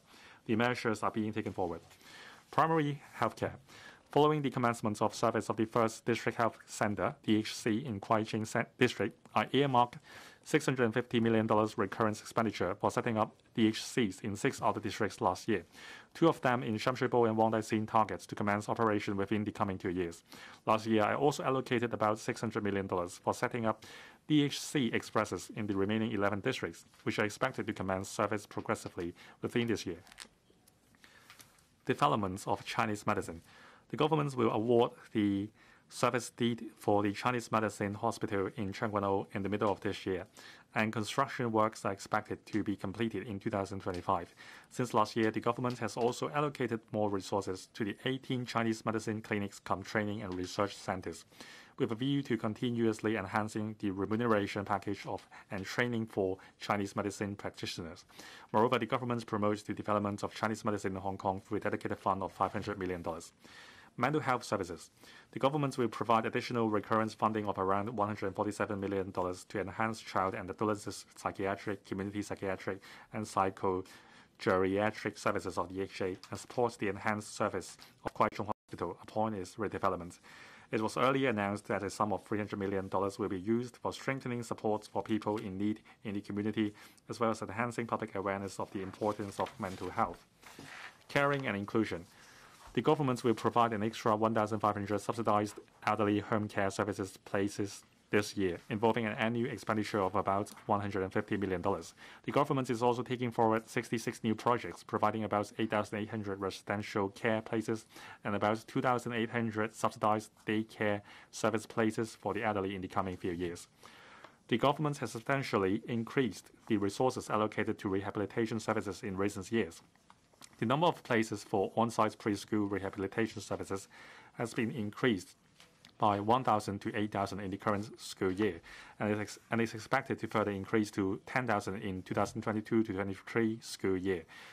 The Labor Department launched the Racial Diversity Employment Program last year to enable NGOs to provide one-stop employment services for ethnic minority job seekers through a case management approach. Over 500 ethnic minority job seekers are expected to participate in the first two years of the program.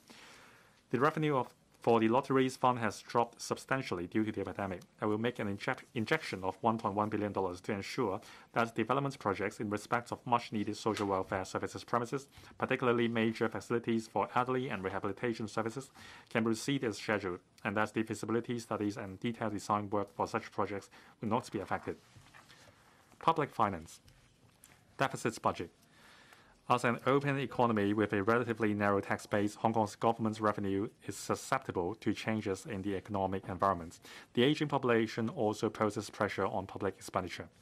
Though I have great confidence in Hong Kong's fundamental strengths and long-term prospects, we must, in the face of an economic downturn and the aforesaid challenges, exercise extra prudence in managing public finance. Our fiscal reserves are the fruits of the economic development of Hong Kong and the hard work of our people over the years.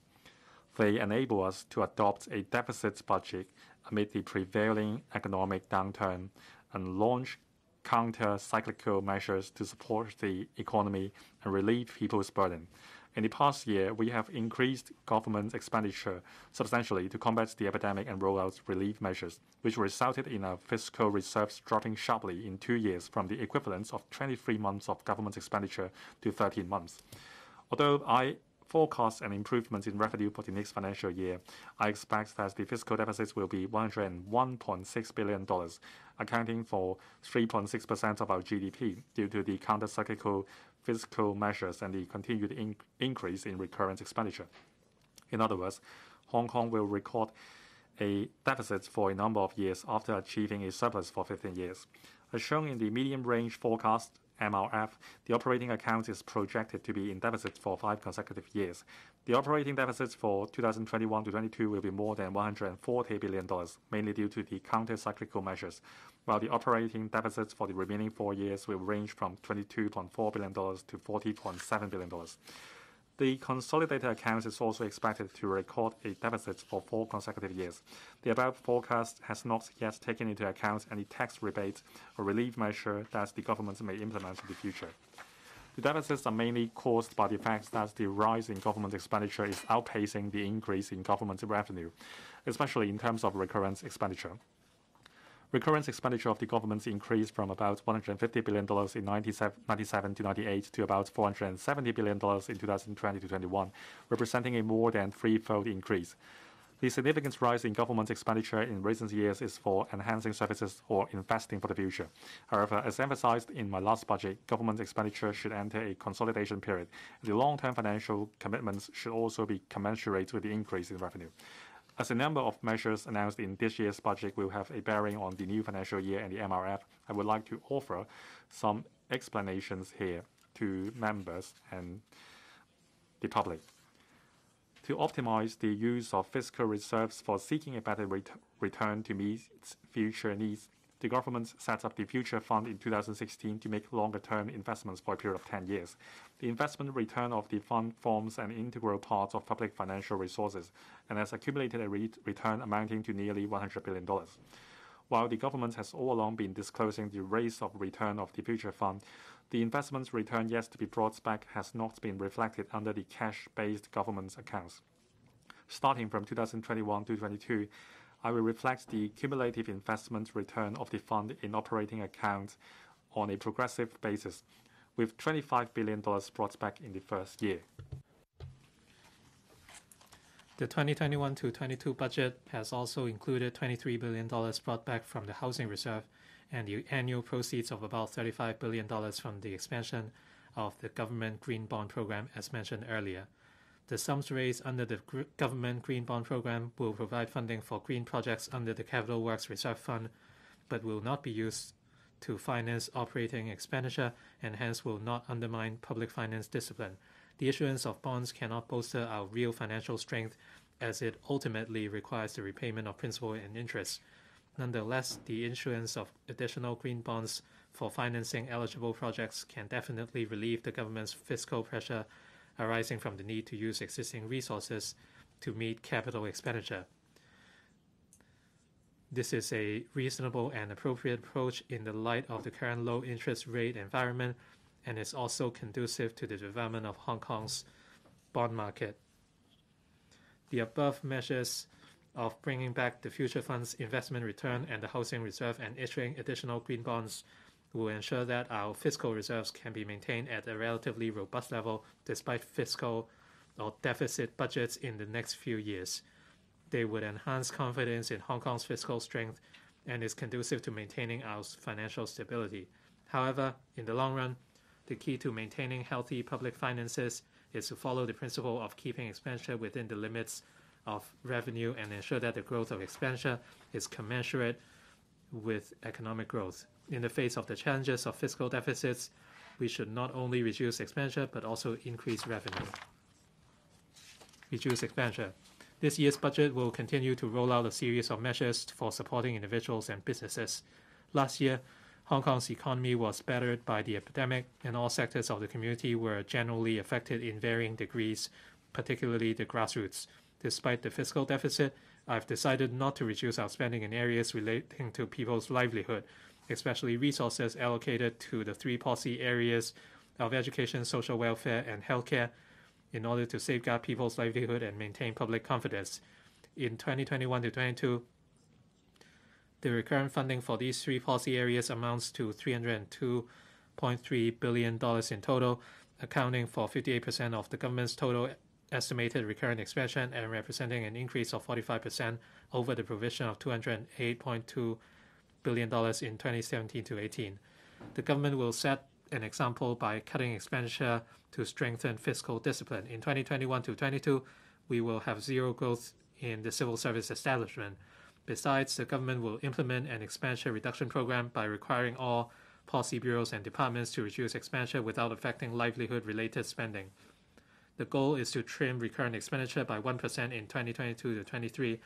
The estimated savings will be about 3.9 billion, while it seems not too difficult to achieve the 1% cut in recurrent expenditure, there's limited room for curbing expenses relating to personnel emoluments, which account for about 60% of recurrent expenditure of government departments. We can only achieve the target mainly through savings from the remaining 40% of recurrent expenditure, including major items such as general expenses and subventions. All departments have to undertake critical review, adjust priorities, and enhance efficiency in order to achieve the savings target without affecting day to day operation and public services they provide. Many a little makes a mickle. Increase revenue. As I have pointed out in my budget last year, my um, Hong Kong needs to maintain the development and vibrancy of our economy and identify new areas of growth with a view to increasing our revenue. I've just elaborated on the long term positioning of Hong Kong's economy and the strategies for the development of our major sectors, which will help increase government revenue on the long run. Besides, I mentioned last year that we need to consider seeking new revenue sources or revising tax rates and reducing one off relief measures progressively. Though raising tax rates can increase revenue on the short run, the choice must be made carefully.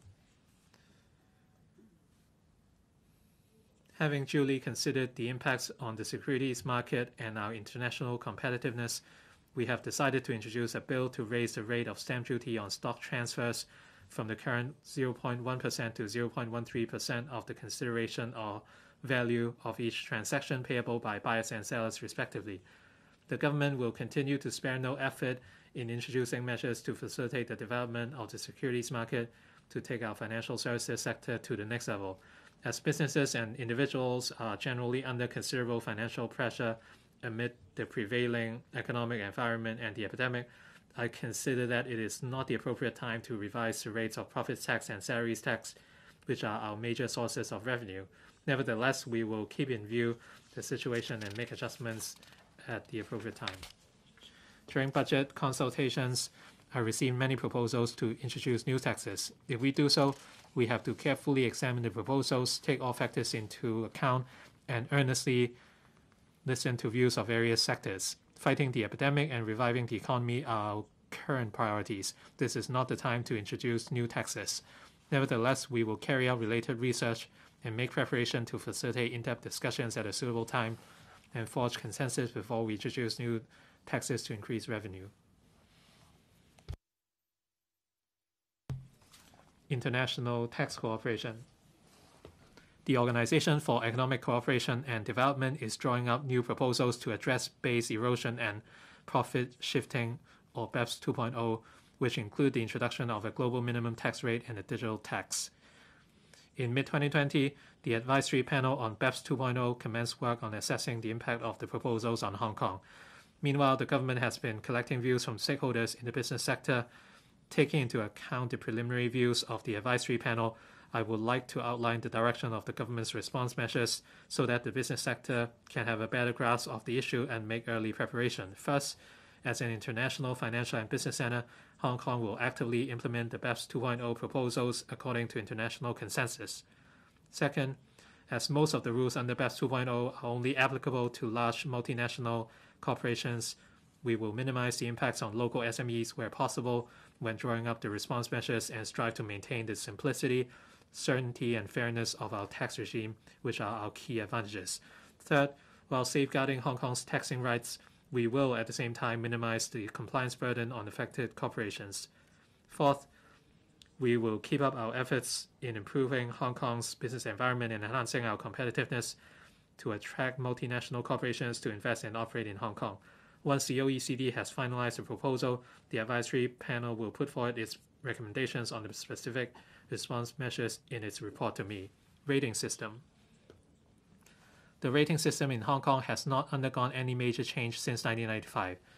To ensure that our rating system could keep pace with the times, I have requested the FSTB and the Rating and Valuation Department to review whether there's any room for improvement in respect of the rating system. We will review the case for introducing a progressive element to the rating system and therefore providing rates concession to owner-occupied properties on a regular basis. Furthermore, we will consider shifting the primary liability for rates payment from the occupier to the owner of a property to reflect that the ultimate responsibility with regard to a property should rest with its owner. The government will consult the relevant electoral panel on whether and how to revise the rating system.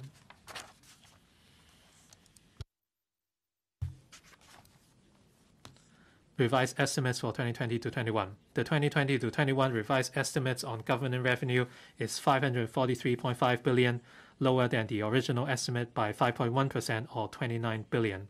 This is mainly due to the lower than expected revenue from land premium. Revenue from land premium is 87 billion, substantially lower than the original estimate by 31 billion, mainly due to the deferment of the disposal timetable of a high-value commercial site in the year. Revenue from profits tax is 131 billion, comparable to the original estimate. Meanwhile, revenue from salaries tax is 72 billion, which is 12.1 billion higher than the original estimate. This is mainly because some tax revenue that should be received in previous year could only be collected this year as a result of the deferred tax assessment cycle. Stamp duty revenue is 79 billion, which is 4 billion higher than the original estimate. This is mainly due to the hectic trading in the stock market. As for government expenditure, the revised estimate is 820.4 billion, 12.2% or 89.3 billion higher than the original estimate. This is mainly because of the need to make injections into the AEF and meet expenditure on other helping measures. At the same time, expenditure on public works project was 7.1 billion lower than the original estimate. All in all, I forecast a deficit of 257.6 billion for 2020 to 21 fiscal reserves are expected to be 902.7 billion by the 31st of March 2021. The civil service establishment increased by 6,082 posts in this financial year, representing a growth of 3.2%. The increase in the establishment is mainly due to the implementation of new policies and measures by the government and the need to cope with additional workload. Estimates for 2021 to 22. The major policy initiatives announced in the 2020 policy address involve an operating expenditure of about 18.3 billion and a capital expenditure of 2.1 billion. I will ensure that adequate resources are provided to fully support the launch of these initiatives. Total government revenue for 2021 to 22 is, is estimated to be 591.9 591.1 billion Earnings and profit tax is estimated to be 200.7 billion, decreasing by 6.1% compared with the revised estimate for 2020 to 21. Having regard to the land sale program and the land supply target of the coming year, revenue from land premium is, estimated to be 97.6 billion, increasing by 12.1% compared with the revised estimate for 2020 to 21. Revenue from stamp duties is estimated to be 92 billion, increasing by 16.5% compared with the revised estimate for 2020-21. The current term government has launched a series of measures to improve people's livelihood. Recurrent expenditure for 2020-21 increased by 70 by 7.6% compared with the last financial year, while total government expenditure also increased by 35%. Recurrent expenditure for the new financial year will further increase by 9.6%, demonstrating the government's determination to stimulate the economy and ease people's burden public expenditure will account for about 25% of GDP on average during the five-year period up to 2025 to 26 in the MRF. In 2021 to 22, the estimated recurrent expenditure on education, social welfare, and healthcare accounts for 58% of government ex recurrent expenditure, or 302.3 billion. Recurrent, recurrent expenditure in these three areas recorded a cumulative increase of 53% over the past five years.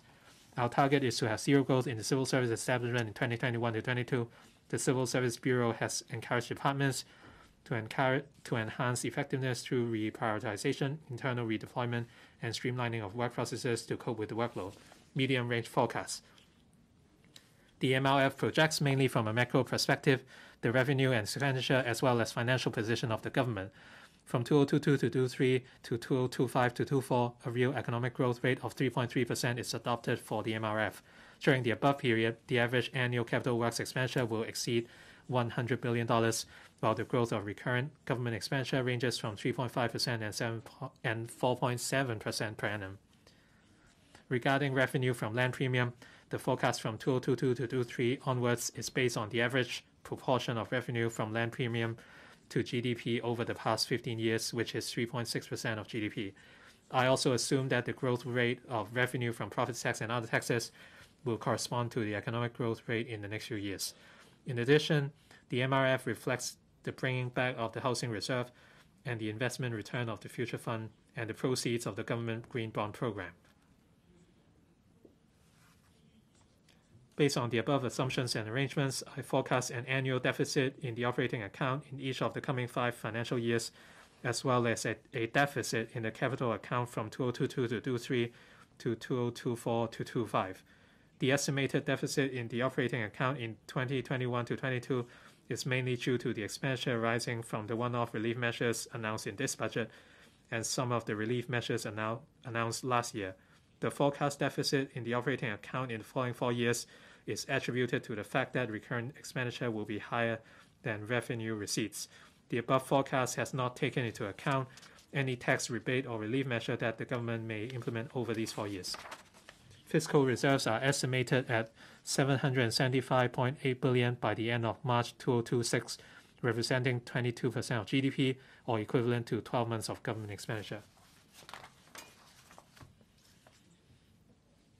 Mr. President, members, over the past two years, Hong Kong has suffered successive setbacks, and now we have to fight the epidemic and ride out the economic difficulties. Life has not been easy for us all. I often chat with people, especially during the preparation for the budget. I know how difficult it is to earn a living during the economic downturn. I can feel their pain. This is why, despite a record high def- fiscal deficit in 2020 to 21, I once again propose a budget involving a deficit of over $100 billion. I do so after careful consideration as the counter-cyclical measures are necessary for stabilizing the economy and alleviating people's burden. At the same time, I'm mindful of the need to expand government revenue and create fiscal space in a prudent manner. In spite of the pressure we now face, looking back, we have walked all the way through thick and thin. However harsh life might have been, Hong Kong remains the home that we treasure.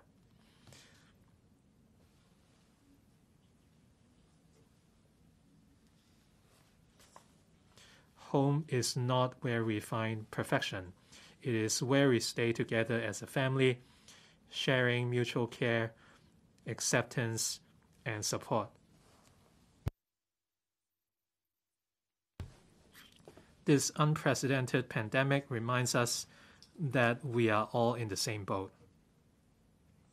Deep seated conflicts cannot be resolved instantly, nor can wounds be healed overnight. Given time, even the tightest knot can be untied.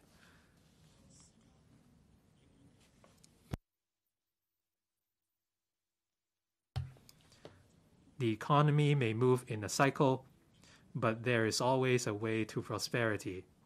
We have overcome many challenges and always come out stronger. Let us be steadfast and ride out the storm.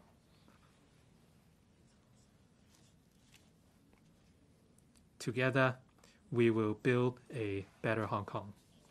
Thank you, President. Thank you.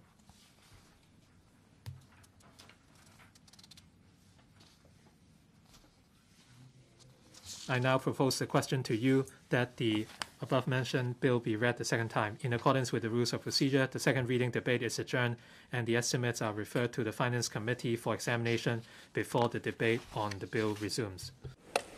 Secretary for Justice.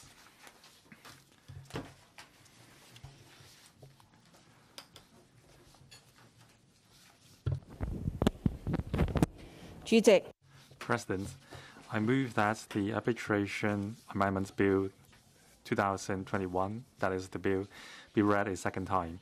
The main object of the bill is to amend the Arbitration Ordinance CAP 609 to fully implement the supplemental arrangement concerning mutual enforcement of arbitral awards between the mainland and the Hong Kong SAR that is the supplemental arrangement signed between the government of Hong Kong SAR and the Supreme People's Court of the PR, People's Republic of China on the 27th of November 2020.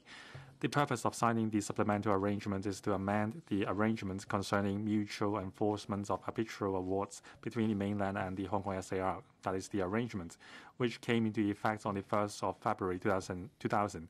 This will bring the arrangements more fully in line with the current practice of international arbitration. In doing so, reference has been made to the implementation experience accrued over the years and the, and the comments from the arbitration sector. The amendments contained in these supplemental arrangements were made in alignment with the spirit of the New York Convention and do not constitute any major change of policy. The supplemental arrangements amends the arrangements in certain aspects, for example, redefining the scope of arbitral awards with the seats of arbitration and removing the previous restriction of the arrangement, thus allowing parties to make simultaneous applications to both the courts of the mainland and the Hong Kong SAR for enforcement of an arbitral award. This is in line with the current practice of interna- international arbitration under the New York Convention. To implement the above amendments, it is necessary to amend the arbitration ordinance. Following the completion of the relevant internal procedures in the mainland